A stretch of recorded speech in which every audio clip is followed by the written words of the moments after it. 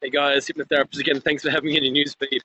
Um, yeah, like I put a post up recently that basically said my brother and I are pretty heavy drinkers because we're on our second pot of tea, and it was funny. You know, it was meant as ironic, and I thought it was pretty funny.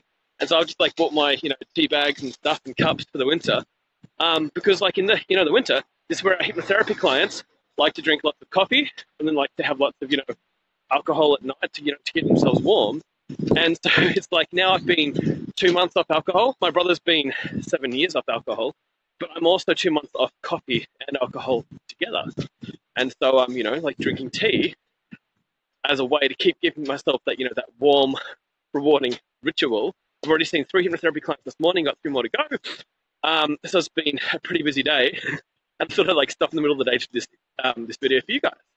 So basically, um, when it comes to weight loss clients, there's a lot of issues that the clients can have where they'll make a lot of excuses. They'll basically either not listen to you in the first place, they'll like not know much about food, or they're not exactly sure about what framework actually is. And so sometimes like the sessions can fall apart. So I've written this 60 page guide for you that if you want it, just say I'm in the comment section and I'll give you my 60 page weight loss script for six sessions.